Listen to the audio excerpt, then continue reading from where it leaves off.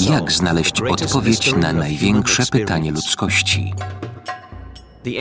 Starożytni Egipcjanie budowali majestatyczne grobowce i mumifikowali zmarłych w nadziei na odrodzenie i życie wieczne. Nigdy nie będziesz głodny, nie zestarzejesz się, nie zachorujesz, nie umrzesz. Grobowiec stawał się miniaturowym kosmosem, w którym egzystował zmarły. Religia faraonów znikła wieki temu. Zastąpił ją judaizm, potem chrześcijaństwo i w końcu islam. Ale wiara w życie po śmierci pozostała niezmienna. Staroegipskie tradycje zyskały nowe znaczenie.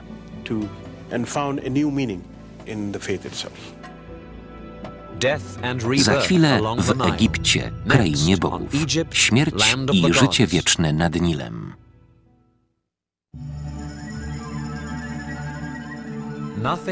W ludzkim życiu nie ma nic bardziej pewnego i ostatecznego niż śmierć. Była ona u podstaw religii starożytnego Egiptu i dała początek jego niezwykłym budowlom.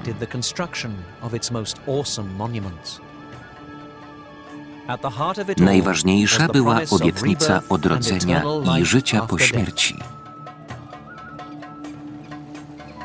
To koncepcja tak stara jak sam Egipt. 12 tysięcy lat temu, na długo przed piramidami i faraonami, ludzie z nad Nilu grzebali zmarłych w piaskach pustyni.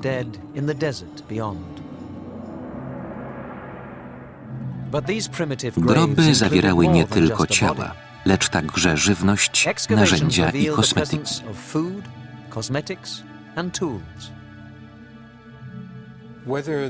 Nie wiemy, czy przedmioty te miały służyć zmarłym, czy raczej były darami dla bogów.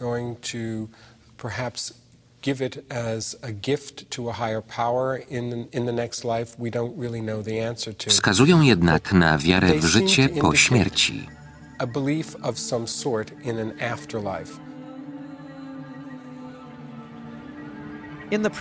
Dzięki suchemu pustynnemu klimatowi zwłoki w grobach dawnych Egipcjan ulegały naturalnej mumifikacji. Około 2900 roku przed naszą erą pojawili się pierwsi faraonowie, a wraz z nimi potrzeba budowy trwalszych grobowców. Tak powstały mastaby. Mastaba to kamienna lub ceglana konstrukcja w kształcie czworoboku. Na powierzchni znajdowały się pomieszczenia modlitewne i magazynowe. Komorę grobową ukrywano pod ziemią. Gorący piasek i suche powietrze nie docierały już do zwłok, więc naturalna mumifikacja była niemożliwa. Egipcjanie musieli znaleźć inny sposób na zachowanie ciał władców.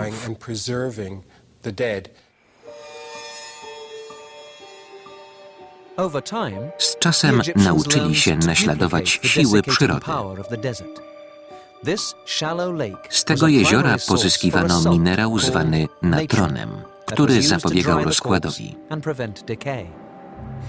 Zwykle proces mumifikacji trwał 40 dni. Potem zabandażowaną mumię owijano w całą. Egipcjanie uważali, że siedzibą rozumu i wiedzy jest serce. Balsamiści pozostawiali je wewnątrz zwłok. Mózg miał mniejsze znaczenie. Do jego usuwania służyło specjalne narzędzie. Przez nos do wnętrza czaszki wkładano rodzaj haka. Za jego pomocą nadawano mózgowi konsystencję papki, a następnie wyciągano go przez nozdrza. Mumifikacja umożliwiła egipskim faraonom budowę większych grobowców, jak słynna piramida schodkowa faraona Dżesera. Powstała w XXVI stuleciu przed Chrystusem i była pierwszą wielką kamienną konstrukcją na Ziemi. Budowniczym pierwszej prawdziwej piramidy był Snofru. Jego syn Hufu zbudował wielką piramidę w Gizie. Podobnie jak prymitywne pustynne groby, piramidy zawierały ciało zmarłego i dary grobowe. Ale egipscy faraonowie nie zabierali ze sobą glinianych naczyń, lecz skarby o niewyobrażalnej wartości.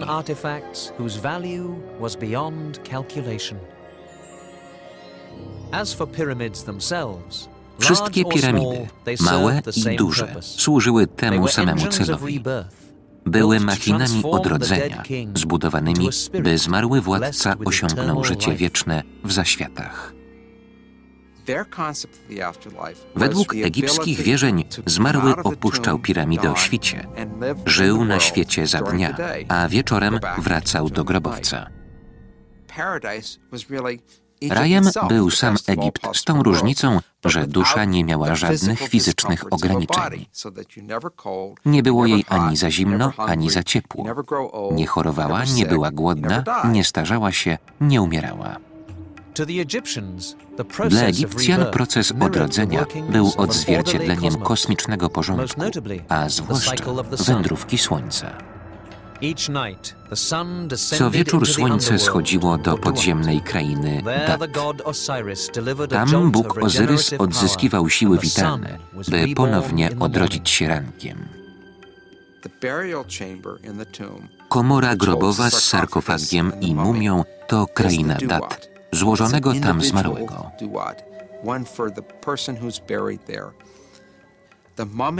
Mumia jest jego Ozyrysem. Nocą dusza musi wrócić do mumii, by odzyskać siły i rankiem ponownie odwiedzić świat żywych.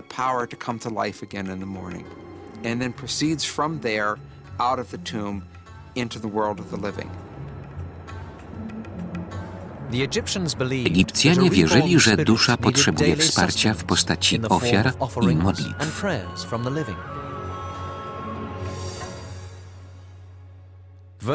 Prawie każdej piramidzie towarzyszy świątynia grobowa, w której składano ofiary i odprawiano modły. W okresie Starego i Średniego Państwa był to standard.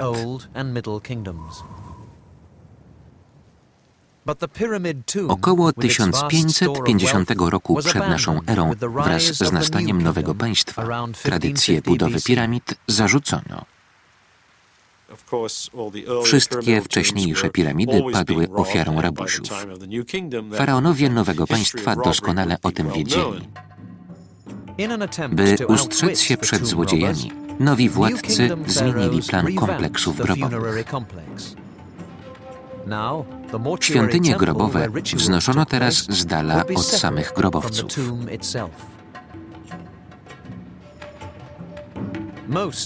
Większość świątyń grobowych, jak zbudowana przez Ramzesa III w Medinet Habu, przypominała świątynię ku czci bogów. Składały się z pylonu, publicznego dziedzińca, zakrytej sali hypostylowej oraz wewnętrznego sanktuarium.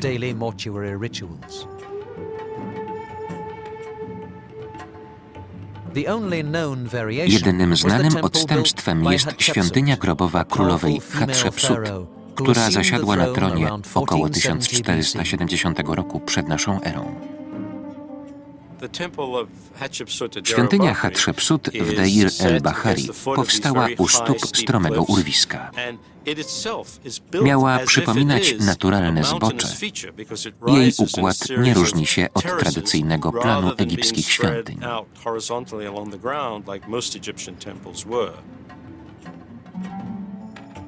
Królewskie świątynie grobowe wznoszono na zachodnim brzegu Nilu. By ustrzec mumię przed rabusiami, właściwe grobowce wykuwano w ukrytym kanionie zwanym Doliną Królów.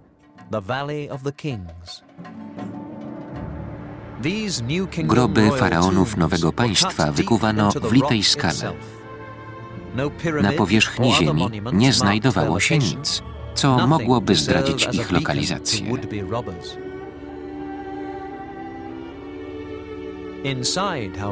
Wewnątrz kontynuowano tradycję architektonicznego odwzorowania kosmosu.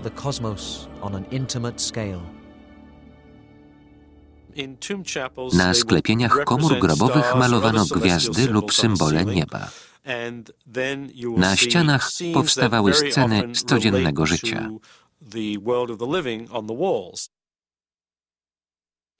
Komora grobowa stawała się miniaturowym kosmosem, w którym egzystował zmarły. Grobowce to nie tylko modele kosmosu, ale także symbole mechanizmu narodzin. Komora grobowa to macica. Wiodący do niej korytarz to drogi rodne.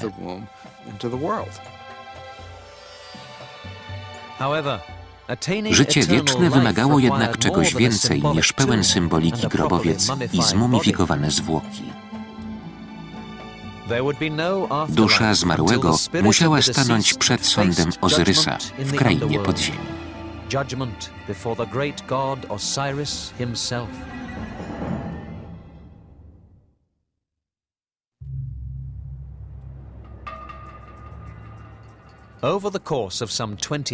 W ciągu 20 wieków egipscy faraonowie no budowali wspaniałe, monumentalne grobowce. Wkrótce ich śladem poszli arystokraci, skrybowie, kapłani i inni wysocy urzędnicy.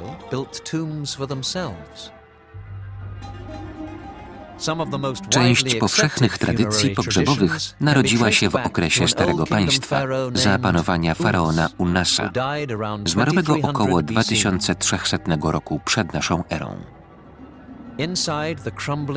Ściany jego komory grobowej pokrywają hieroglify. To magiczne zaklęcia, które mają pomóc duszy władcy w drodze w zaświaty.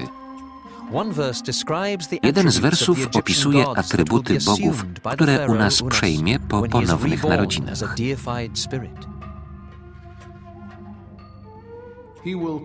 Będzie liczył serca, będzie żądał serc. Żyć będzie ten, komu on pozwoli żyć.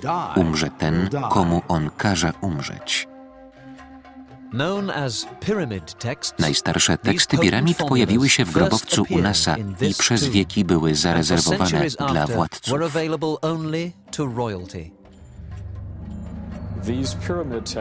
W średnim państwie zamiast na ścianach komory grobowej umieszczano je na trumnach, także w grobowcach arystokracji.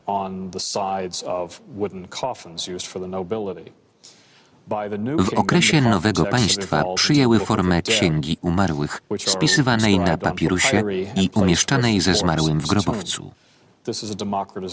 To dowód na postępującą demokratyzację. Zaklęcia, kiedyś zarezerwowane dla królów, potem były dostępne dla wszystkich, którzy mogli sobie na to pozwolić. Ale na życie po śmierci trzeba było sobie zasłużyć. Dusza zmarłego stawała przed sądem Ozyrysa i Trybunałem Boskich Sędziów.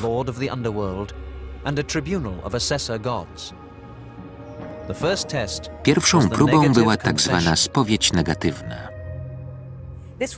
Zmarły spowiadał się z tego, czego nie zrobił.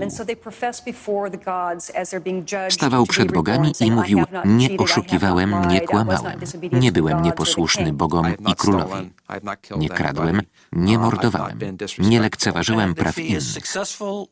Jeśli przekonał boskich sędziów, że wiódł prawe życie, otrzymywał miano głosu prawdy. Innymi słowy, potwierdzano, że nie kłamał. Potem następowała ceremonia ważenia serca.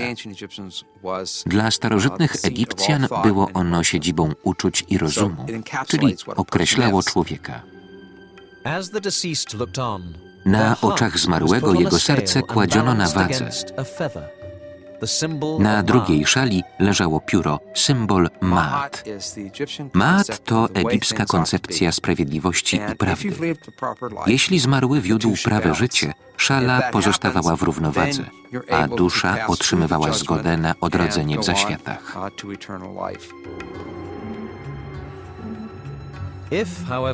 Jeśli serce przeważyło nad piórem, był to dowód, że zmarły nie był dobrym człowiekiem.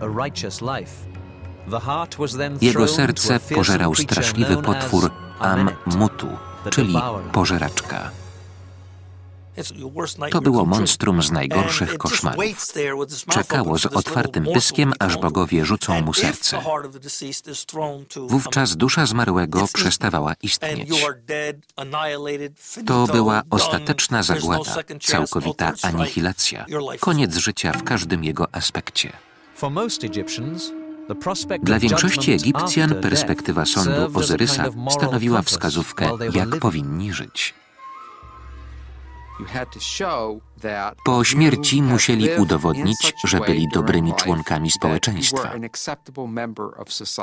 To nie był sąd religijny, lecz społeczny. Zmarły, który zasłużył na życie wieczne, stawał się częścią kosmosu. Błogosławionym duchem, który mógł odwiedzać żywych. Z wielu źródeł wiemy, że żywi prosili zmarłych krewnych o pomoc, na przykład w kwestiach prawnych lub w poczęciu dziecka. Życie i śmierć nie były oddzielone jak obecnie. Oba światy istniały razem, nie obok siebie. Zmarli mogli pomagać żywym. Kontakt ze zmarłym nawiązywano w grobowcu poprzez kamienny relief zwany fałszywymi drzwiami. Fałszywe drzwi to element architektoniczny obecny we wszystkich grobowcach. W tym miejscu żywi składali ofiary i modlili się do przodków. To była brama między światem żywych a światem umarłych. Z tą różnicą, że żywi nie mogli przez nią przejść. Tę zdolność mieli tylko umarli. Osoba prosząca zmarłego o pomoc zapisywała prośbę i przynosiła ją do grobowca. Razem z darami ofiarnymi składała ją na kamiennym podejście przed fałszywymi drzwiami.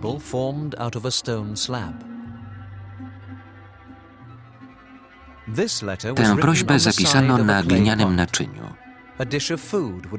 Wewnątrz znajdowała się ofiara w postaci żywności.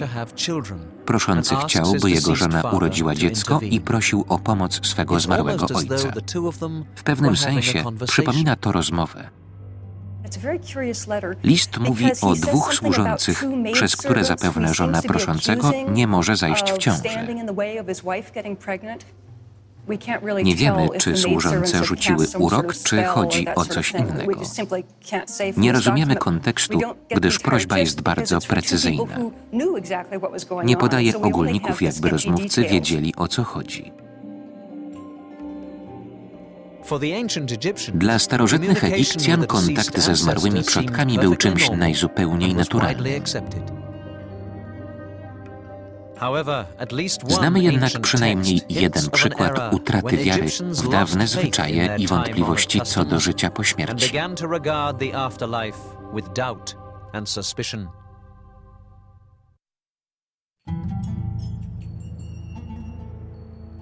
Piramida Hefrena w Gizie powstała ponad 4000 lat temu. Być może pozostanie tam na wieczność, tak jak chciał Hefren. It may well remain here for all eternity, just as Khafre intended. W przeciwieństwie do piramid przez 30 wieków wierzenia Egipcjan ulegały ciągłym zmianom.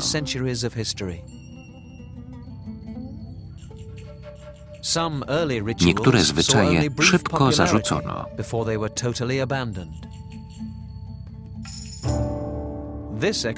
Ten masowy pochówek pochodzi z około 2900 roku przed naszą erą. Znaleziono go w pobliżu trzech królewskich grobowców. Pochówek zawierał aż 500 szkieletów. To szczątki dworzan, którzy zostali zabici, by służyli władcy także po jego śmierci. Zwyczaj ten wkrótce zniknął. Miło byłoby wiedzieć, że odstąpiono od niego z pobudek moralnych, ale nie mamy pewności. Wiemy jedynie, że zamiast zabijać służbę, faraonowie zaczęli zabierać do grobów jej podobizny w postaci posążków i malowideł.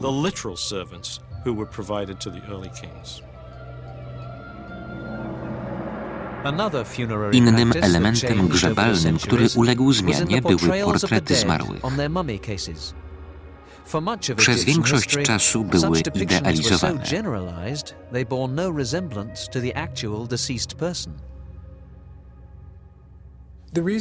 Ukazywanie wyglądu zmarłego w określonym wieku było zaprzeczeniem egipskiej koncepcji życia wiecznego, w której zmarły pozostawał na zawsze młody.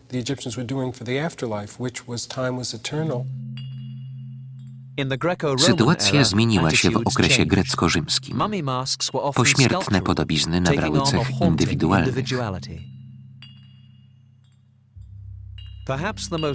Najlepsze przykłady pochodzą z czasów rzymskich i chrześcijańskich.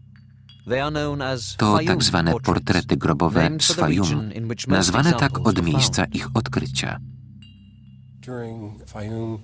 W tym okresie portrety powstawały za życia człowieka. Wisiały w domu, a po jego śmierci umieszczano je na trumnie.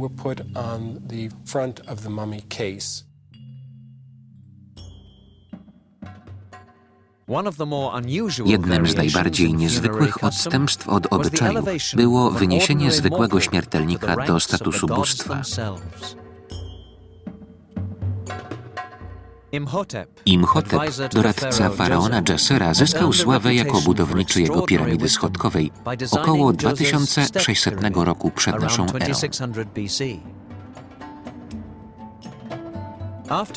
Po jego śmierci pojawiła się wiara, że Imhotep komunikuje się z bogami.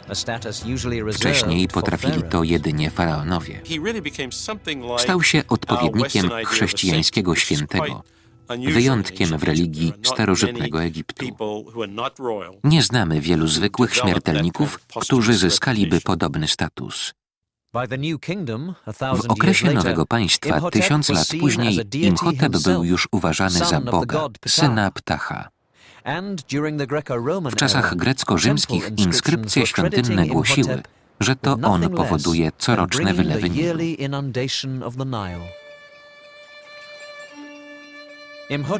Sława Imhotepa przekroczyła granice Egiptu i trwała długo po upadku państwa faraonów.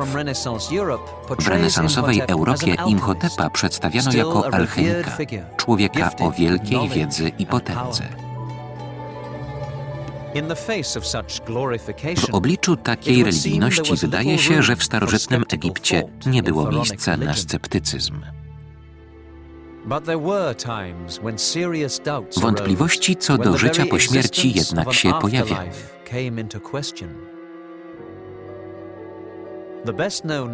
Najlepszym przykładem jest tradycja organizowanych w grobowcach uczt. Krewni zmarłego ucztowali i oddawali mu cześć. Wierzyli, że towarzyszy im jako duch. Często pojawiał się harfista, który pieśnią sławił zmarłego, opisując wspaniałości życia po śmierci. point out to the deceased that he or she is going to enjoy the afterlife, that it's the place of security and rest and sustenance. Tekst jednej z takich pieśni, odkryty w grobowcu faraona Antefa, wskazuje na coś innego. Podważa wiarę w odrodzenie, głosząc, iż no kto odchodzi, nie wraca. Harfista śpiewa też o Imhotepie, że mimo jego sławy, jego grobowiec zniknął i no nikt już nie składa mu ofiar. To niezwykły przykład wątpliwości w życie po śmierci. Tekst pieśni mówi, że dawni wielcy Egipcjanie mimo swoich grobowców i świątyń grobowych odeszli i nikt nie wie, gdzie są teraz.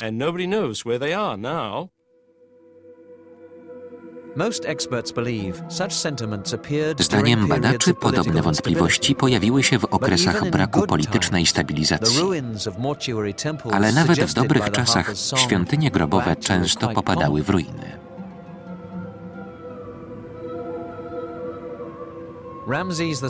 Ramzes II był jednym z największych faraonów Egiptu i wielkim budowniczym. A mimo to po jego świątyni grobowej pozostały jedynie strzaskane kolumny i posągi. Innym wielkim budowniczym był Amenhotep III. Jego świątynia grobowa była największa. Pozostały po niej jedynie posągi. Najwyraźniej późniejsi faraonowie wykorzystywali ją jako kamieniołom. Każdemu faraonowi najbardziej zależało na własnej świątyni grobowej. Była warunkiem życia w zaświatach. Musiała zostać ukończona przed śmiercią władcy. Niektórzy więc bez oporów wykorzystywali materiał budowlany ze świątyń wcześniejszych królów. Egipskie obyczaje grzebalne ewoluowały przez wiele stuleci.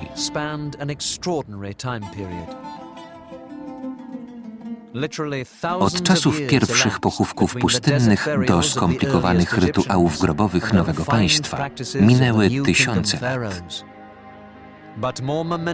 Zbliżały się jednak jeszcze większe zmiany.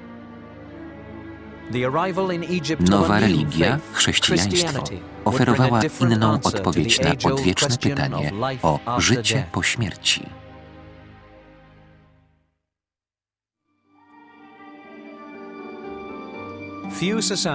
Niewiele społeczności dorównywało starożytnym Egipcjanom w próbach oszukania śmierci. Przez 30 wieków poświęcali wszystko, by zyskać życie wieczne.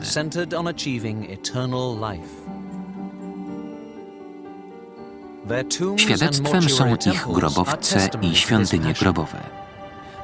Później pojawiła się nowa religia, która w inny sposób wyjaśniała tajemnicę śmierci. Chrześcijaństwo pojawiło się w Egipcie w pierwszych wiekach po ukrzyżowaniu Chrystusa. Wraz z nim przybyły nowe idee. Faraonowie kojarzyli życie wieczne z koniecznością zachowania ciała. W chrześcijaństwie człowiek zmartwychwstaje poprzez Jezusa Chrystusa. The resurrection is through our Lord Jesus Christ and not through preservation of the body. Ta właśnie idea odróżniała egipski kościół koptyjski od religii faraonów. A mimo to przez kilka wieków stare zwyczaje mieszały się z nowymi. Święty Atanazy Wielki, biskup z IV wieku i ważna postać wczesnego chrześcijaństwa, opisał część tych praktyk. W żywocie świętego Antoniego Atanazy zawarł opisy zwyczajów egipskich chrześcijan. Na przykład mumifikację zwłok, które następnie składano w miejscu dostępnym dla krewnych zmarłego. Nie wiemy, jakie rytuały towarzyszyły temu zwyczajowi. Um, Nie do końca wiemy też, w co wierzyli ci ludzie. Sarkofag z postacią ludzką trzymającą krzyż. Połączenie tradycji chrześcijańskich i staroegipskich jest bardzo częste w kulturze koptyjskiej. Na wielu nagrobkach znajduje się tak zwany krzyż egipski. Wywodzi się ze znaku Ankh, staroegipskiego symbolu życia. Na tym nagrobku chrześcijańskiemu aniołowi towarzyszy symbol faraonów. Dysk słoneczny, strzeżony przez dwie kobry. Tutaj widać schody, koptyjski symbol zmartwychwstania. W czasach faraonów oznaczały one odrodzenie. Innym przykładem jest wiara koptyjskich chrześcijan, że zmarli mogą pomagać żywym w codziennych sprawach.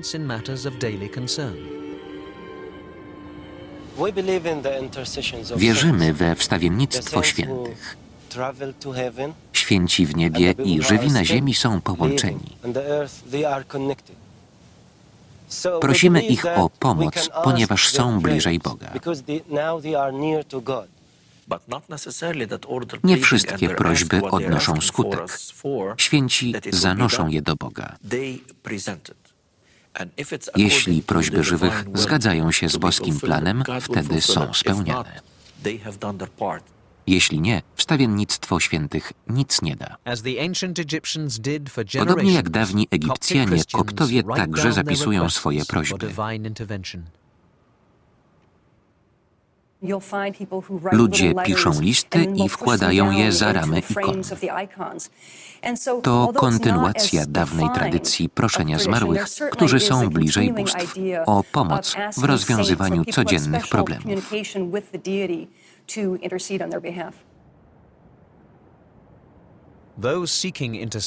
Ludzie szukający pomocy odwiedzają święte miejsca, takie jak klasztor świętego Antoniego na egipskiej pustyni wschodniej. W roku 1826 zmarł tu wielbiony przez tłumy biskup Józef. Po jego śmierci Kościół koptyjski ogłosił go świętym. 140 lat później rozpętała się potężna ulewa, która zniszczyła cmentarz. Kiedy mnisi otworzyli trumnę Józefa, okazało się, że jego ciało nie uległo rozkładowi. Dziś spoczywa w naszym kościele. Pielgrzymi często zostawiają karteczki z prośbami do świętego Józefa. Piszą o swoich problemach, powierzają mu sekrety. Listy mogą czytać tylko księża. Po modlitwie palimy je wszystkie, by pozostały tajemnicą.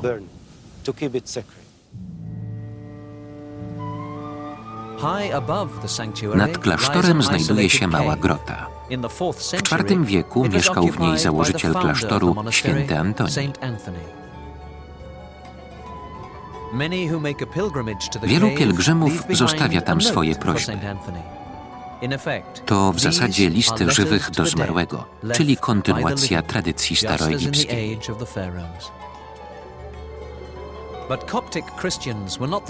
Co ciekawe, zaadaptowali ją nie tylko koptowie. Dowodami na związki judaizmu ze starożytnym Egiptem są między innymi postać Mojżesza, Księga Wyjścia oraz dziesięć przykazań. Z drugiej strony Żydzi nie wierzą we wstawiennictwo zmarłych, przynajmniej oficjalnie. W judaizmie nie ma pośredników między człowiekiem a Stwórcą. Każdy człowiek może i powinien komunikować się z Bogiem sam.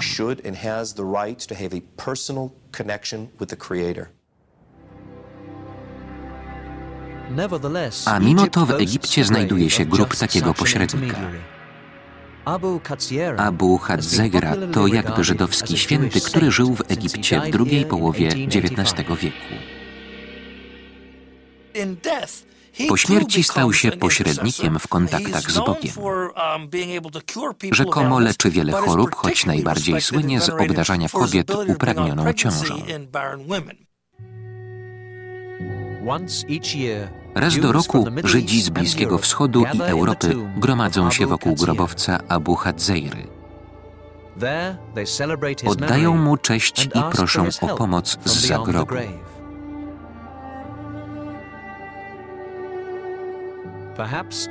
Żydowskiego świętego oraz chrześcijańskie nagrobki z faraońskimi symbolami można znaleźć tylko w Egipcie. Dziś w tej kolebce wielu religii dominuje islam. Mimo upływu dwudziestu wieków egipscy muzułmanie wciąż kultywują wiele dawnych zwyczajów pogrzebowych.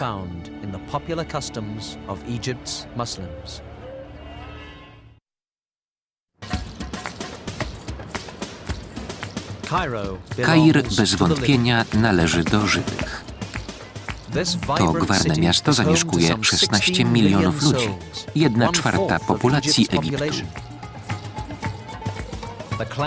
Uliczna wrzawa nie cichnie nawet nocą. Na wschód od Kairu leży zupełnie inne miasto, tak zwane miasto umarłych. To zabytkowy cmentarz egipskich muzułmanów. Muzułmańscy władcy wznosili tu swoje majestatyczne grobowce, wspanialsze nawet niż budowle faraonów.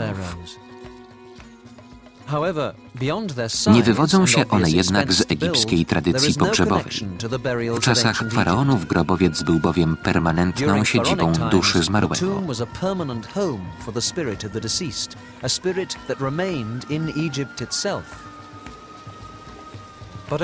Według zasad islamu grób jest tymczasowym schronieniem między dniem śmierci a dniem sądu. Muzułmanie wierzą, że dusze trafiają do raju pełnego ogrodów, pałaców i dziewic. Zmarły jest sądzony na podstawie swoich czynów i słów. Potem decyduje się jego los, czy trafi do raju, czy spłonie w piekle. Podobne grobowce w zasadzie łamią nakazy Mahometa.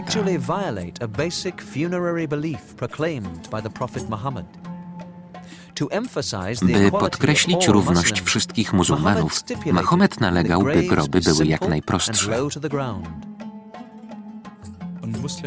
Muzułmański grób powinien być prawie niewidoczny. Ortodoksyjny islam nazywa to zrównaniem z ziemią. Prorok wyraźnie zakazał wznoszenia jakichkolwiek budowli.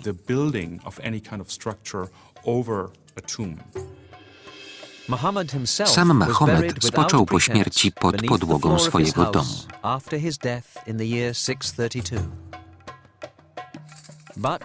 Mimo jego zaleceń, wierni wznieśli tam wspaniały meczet.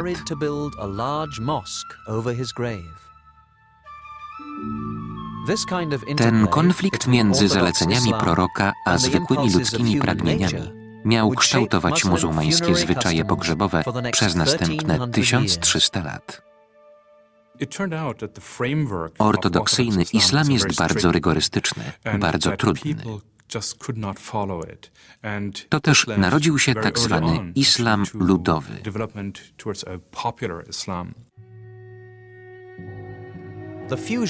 Połączenie ortodoksji i wierzeń ludowych można dostrzec w rzeźbionych nagrobkach, które pojawiły się w VIII wieku. Ich umieszczanie łamało zasadę niskiego grobu. Mimo to zdobiono je wersetami z Koranu. Często nadawano im też kształt wnęki mihrabowej, która w meczecie wskazuje kierunek Mekki. Między XII a XV wiekiem pod rządami Mameluków islamskie budownictwo grobowe w Egipcie przeżywało rozkwit. Grobowce symbolizowały status zmarłego. Sułtan budował wspaniały grób, by pokazać, kim był za życia. Oto mauzoleum Az-Zahira Barkuka, który zmarł pod koniec XIV wieku. W jego centrum znajduje się wielki dziedziniec. Kiedyś zdobiła go fontanna.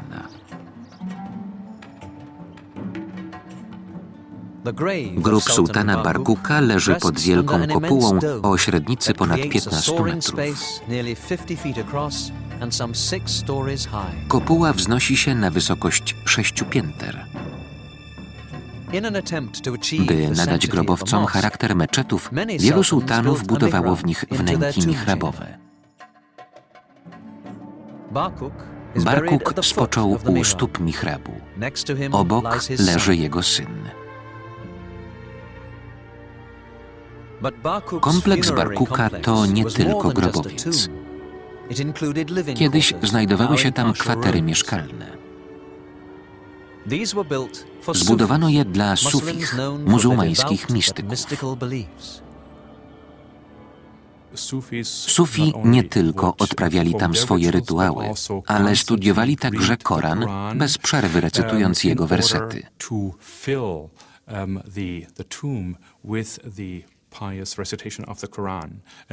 W ten sposób wspomagali duszę zmarłego sułtana w okresie między śmiercią i zmartwychwstaniem. Idea modlitw wspomagających zmarłych była znana także starożytnym Egipcjanom. Ale islam nie wyrasta z ich wierzeń. Podobieństwa są jedynie przypadkowe.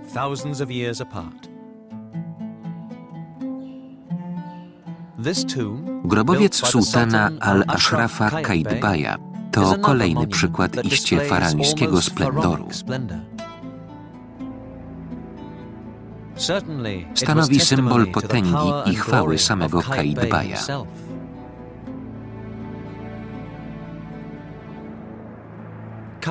Kaidbaj przestrzegał zakazu tworzenia wizerunków człowieka. Jego grobowiec zdobią jedynie wzory geometryczne i wersety z Koranu.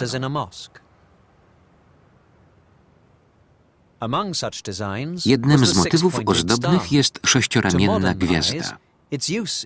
Współczesnemu obserwatorowi może się to wydać dziwne. Pięcio- i sześcioramienne gwiazdy pojawiają się na wielu budowlach muzułmańskich. Gwiazda stała się symbolem judaizmu stosunkowo niedawno. Jej zastosowanie w kairskich budowlach nie ma żadnego kontekstu religijnego.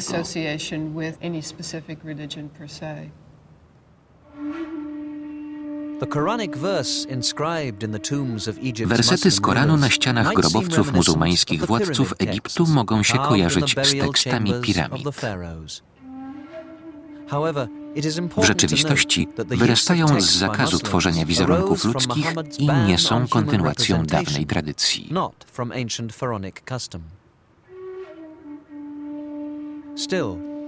Z drugiej strony, pod względem rozmiarów mameludzkie grobowce mają o wiele więcej wspólnego z grobowcami faraonów niż ze skromnymi grobami, jakie zalecał Mahomet. Mimo swego bogactwa odgrywały ważną rolę dla islamu.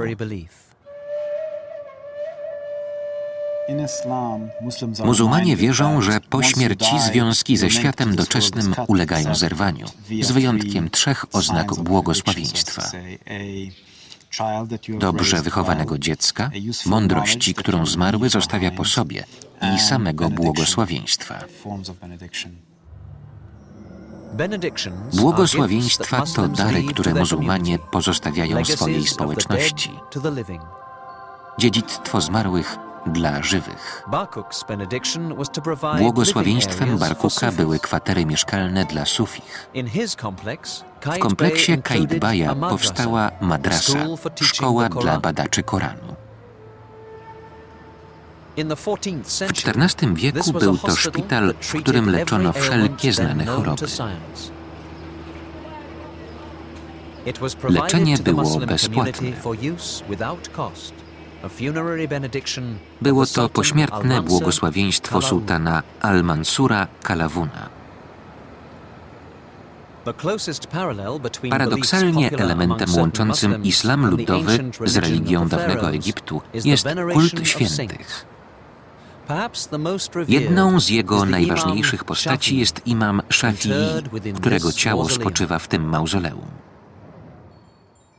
Shafi był jednym z największych teologów islamu i założycielem jednej z czterech słynnych uczelni teologicznych. Zmarł w roku 820 i został pochowany w skromnym grobie zgodnie z zaleceniami proroka. Wspaniałe mauzoleum powstało kilkaset lat później. Podobnie jak dawni Egipcjanie i chrześcijańscy koptowie, muzułmanie zostawiają przy grobie imama karteczki z prośbami o pomoc.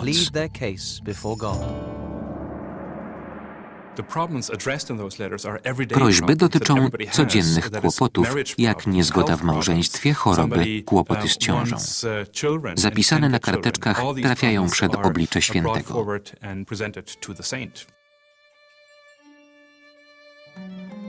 Grobowiec imama Shafi'i, podobnie jak meczet nad grobem Mahometa, stanowi niezwykłe połączenie ortodoksji i wiary ludowej. Szafii był wielkim autorytetem prawnym w Kairze IX wieku i doskonale wiedział, że prorok nie pochwalał kultu świętych. Pewnie byłby wstrząśnięty, gdyby się dowiedział, że po jego śmierci pielgrzymi zostawiają przy grobie karteczki z prośbami. Koran mówi wyraźnie: Błogosławieństwo może spłynąć na człowieka tylko z woli Boga.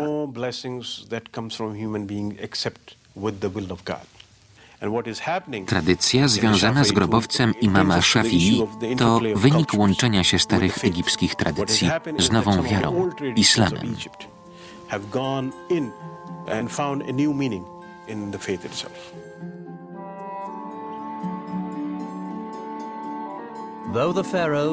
Faraonowie odeszli wieki temu, ale staroegipskie tradycje przetrwały.